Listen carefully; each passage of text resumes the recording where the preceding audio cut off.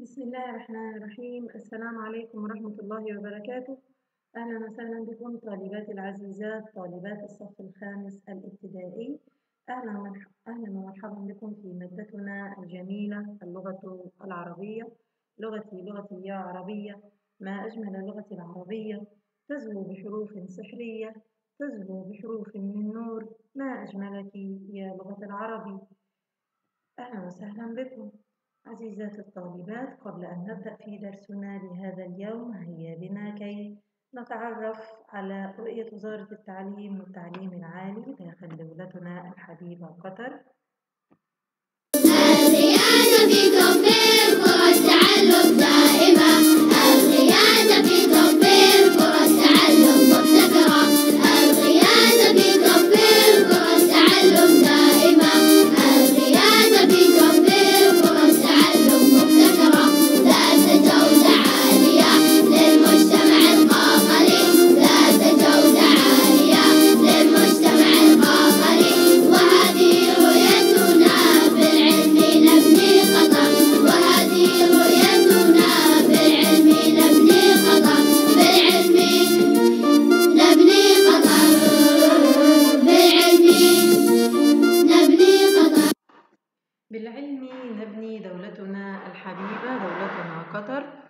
فبالعلم تنهض الأمم وترقى الشعوب وتتقدم الأمم الإسلامية بإذن الله تعالى.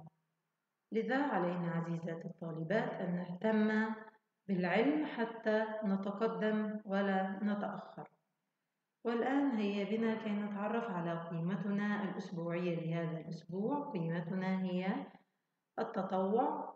فالعمل التطوعي هو عمل إنساني فيه أخوة حيث أن الإنسان الذي يقوم بهذا العمل يشعر بسعادة بالغة ويشعر أيضا بالأمل ويحبه الناس ويحبه الله سبحانه وتعالى وبالتالي يفوز بالثواب العظيم بإذن الله تعالى. وبعد أن تعرفنا على قيمتنا الأسبوعية هيا بنا كي نتعرف على رؤية مدرستنا. رؤيتنا هي إعداد فتيات متعلمات مبدعات قادرات على بناء مجتمع واع محافظا على أخلاقه وقيمه ومستخدما للتكنولوجيا الحديثة. معنى ذلك أنه يجب علينا أن نتمسك بالأخلاق الفضيلة والحسنة مثل الصدق والأمانة والإخلاص. إلى غير ذلك من الصفات الفضيلة التي أوصانا بها الله عز وجل. هذا بالإضافة إلى ضرورة استخدام وسائل التكنولوجيا الحديثة مثل أجهزة الحاسوب والهواتف الذكية حتى نتقدم ولا نتأخر عن بقية الأمم بارك الله فيكم. عزيزات الطالبات ها قد بدأنا في الوحدة الثانية من مادتنا الجميلة اللغة العربية. وعنوان درسنا لهذا اليوم هو قصيدة بلادي الجزء الثالث بإذن الله تعالى. قد قمنا بدراسة الجزء الأول والثاني واليوم بإذن الله تعالى سوف نقوم بدراسة الجزء الثالث. ولكن قبل أن نبدأ في الدرس هيا بنا كي نقوم بنشاط التهجئة. كما تعودنا قومي بكتابة هذه الكلمة داخل الدفتر. ثم بعد ذلك قومي بتهجئتها عزيزتي الطالبة. أوقف الفيديو.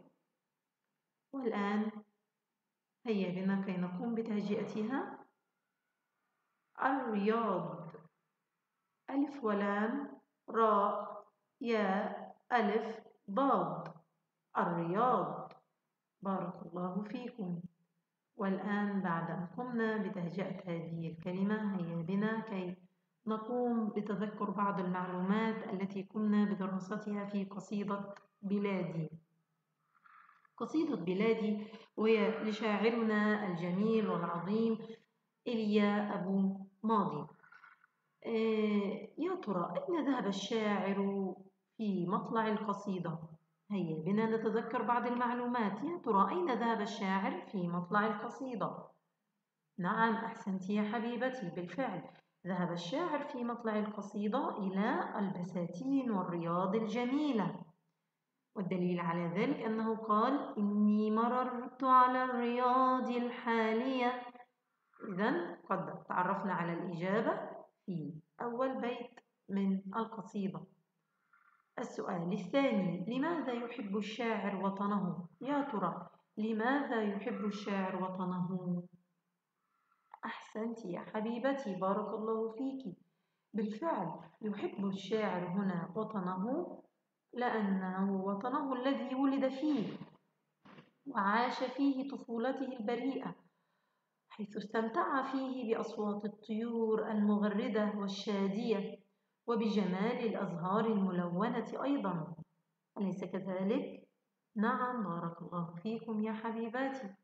والآن هيا بنا كي نتذكر شروط ومعايير القراءة الجهرية قبل أن نبدأ في قراءة الجزء الثالث. يجب علينا أن ننتبه إلى وضوح الصوت وسلامة القراءة. ومراعاة علامات الترقيم وتمثيل المعنى.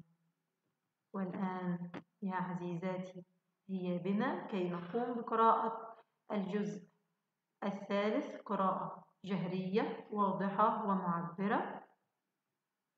لي أبو ماضي إني مررت على الرياض الحالية.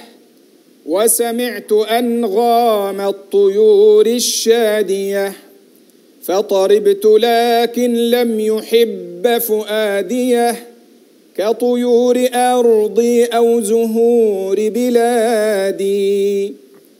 وقرأت أوصاف المروءة في السير فظننتها شيئا تلاشى واندثر. أو أنها كالغول ليس لها أثر فإذا المروءة في رجال بلادي. قالوا أليس الحسن في كل الدنا؟ فعلى ما لم تمدح سواها موطنا. فأجبتهم إني أحب الأحسن. أبدا وأحسن ما رأيت بلادي. أحسن وأحسن ما رأيت بلادي. ما أجمل هذه القصيدة؟ فهي من أجمل القصائد التي يمكن أن نستمع إليها ونستمتع بها. والآن عزيزات الطالبات بعد أن قمنا بقراءة القصيدة هيا بنا كي نناقش بعض المعاني في الجزء الثالث حتى نوضحها قالوا أليس الحسن يا ترى ما معنى كلمة الحسن؟ أحسنت يا حبيبتي معنى كلمة الحسن الجمال معنى الحسن الجمال وما مضاد كلمة الحسن؟ أحسنت يا حبيبتي مضادها أي عكسها القبح القبح في كل الدنا. يا ترى ما معنى كلمة الدنا؟ أحسنتي معنى كلمة الدنا العالم. أجمع. ومفرد كلمة الدنا مفردها الدنيا. مفردها الدنيا. مفردها الدنيا. قومي بكتابتها عندك. مفردها الدنيا. بارك الله فيكم. فعلامة. فعلامة لم تمدح. ما معنى كلمة فعلامة؟ أحسنت يا حبيبتي فلماذا؟ معنى كلمة فعلامة فلماذا؟ فلماذا لم تمدح سواها؟ عكس كلمة تمدح تذم. عكسها تذم. عكس المدح الذم. عفوا. فعلامة لم تمدح سواها. معنى كلمة سواها غيرها غيرها. فأجبتهم إني أحب الأحسن. معنى كلمة الأحسن بالطبع الأفضل أو الأجمل. بارك الله فيكم. هنا عزيزات الطالبات هنا يختم الشاعر القصيدة الجميلة وذلك بمدح بلاده وذلك بقوله إنها أجمل البلاد. وعندما سأله الناس لماذا لا تمدح بلدا غير بلادك؟ قال لأنه يحب الأفضل والأحسن دائما فهو لم يرى أفضل وأجمل من بلاده. ما أجمل شاعرنا العظيم وما أجمل هذه القصيدة الجميلة التي تعبر عن حب الشاعر لوطنه.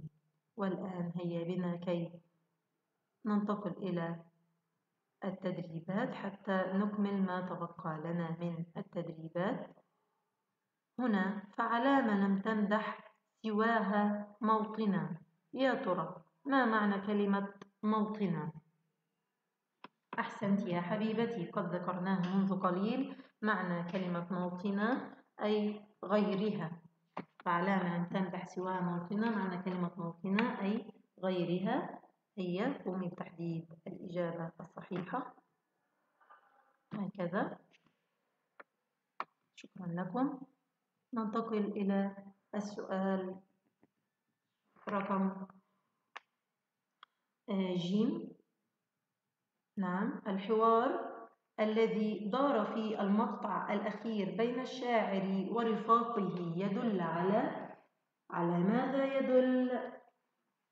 الحوار الذي دار في المقطع الأخير بين الشاعر ورفاقه يدل على جمال بلاد الشاعر عظمة بلاد الشاعر شدة حب الشاعر لبلاده أن الحسن موجود في كل الدنا أحسنت يا حبيبتي يدل ذلك على شدة حب الشاعر لبلاده بالطبع هذه هي الإجابة الصحيحة. والآن ننتقل إلى صفحة آه ثلاث وأربعون. السؤال رقم ثلاثة. هاتي من القصيدة ما يدل على المعاني الآتية. ألف الخصال الحسنة متمثلة في رجال وطني يا ترى ما هو؟ البيت الذي يدل على هذا المعنى بالطبع البيت هو فإذا المروءة في رجال بلادي هيا يا حبيبتي قومي بكتابتها. فإذا المروءة في رجال بلادي شكرا لكم. والآن لم أشاهد أجمل من بلادي. يا ترى أي بيت يدل على هذا المعنى؟ لم أشاهد. أجمل من بلادي. بارك الله فيكم بالطبع. أبدا. أبدا. ما؟ أبدا. وأحسن ما رأيت بلادي. أبدا. وأحسن ما رأيت بلادي. شكرا لكم. إجابة صحيحة. والآن يا ترى لماذا يعتقد الشاعر أن كل شيء في بلاده أفضل من غيرها؟ يا ترى لماذا؟ لماذا لا يرى الشاعر أفضل من ولا أي بلد أفضل من بلاده؟ يا ترى لماذا؟ بالطبع لأنه يتعلق ببلاده كثيرا ويحبها كثيرا. عندما يتعلق الإنسان بشيء ما لا يرى أفضل منه أبدا. فهو قلبه متعلق تعلق شديد ببلاده. بارك الله فيكم لأنه يتعلق ببلاده. ولا يرى أفضل منها. لأنه يتعلق ببلاده ويحبها كثيرا ولا يرى أفضل منها. والآن عزيزة الطالبات ننتقل إلى السؤال الخامس. الأفكار الرئيسة لنص بلادي آه بالطبع المقطع الأول قمنا بإجابته في الحلقات الماضية. أما المقطع جيم يا ترى ما هي الفكرة الرئيسة؟ بالفعل إجابة صحيحة. تعلق الشاعر ببلاده دون غيرها. تعلق الشاعر ببلاده دون غيرها. هذه هي الفكرة الرئيسة من المقطع الثالث. ننتقل بعد ذلك إلى السؤال السابع. اختر من القصيدة بيتا أعجبك موضحا سبب اختيارك. بالطبع هذا السؤال متروك لك عزيزتي الطالبة. فقومي باختيار السؤال آه، عفوا فقومي باختيار البيت الذي ترغبين في اختياره. هنا تشابهت نهاية الأسطر في المقاطع مثل الحالية الشادية. لو تلاحظون أن النهايات واحدة هنا آخرها ياء وتاء مربوطة هنا أيضا ياء وتاء مربوطة. اذكري مثالين آخرين من القصيدة على ذلك. يوجد لدينا الكثير. سوف أقوم بإعطائك مثال واحد. وقومي أنت بالبحث عن المثال الثاني. هنا يوجد لدينا اندثر وأثر. يوجد لدينا في نهاية المقاطع اندثر. نفس النهاية أيضا كلمة أثر. هل تلاحظون اتفاق نهايات الكلمات؟ نعم. حرف الثاء والراء وأيضا هنا حرف الثاء والراء. قومي بالبحث عن نهايات أخرى للكلمات متفقة. أتمنى أن نكون قد استفدنا من درسنا لهذا اليوم. ألقاكم على خير بإذن الله. في درس جديد من دروس لغتنا الجميلة لغتنا العربية. والسلام عليكم ورحمة الله وبركاته.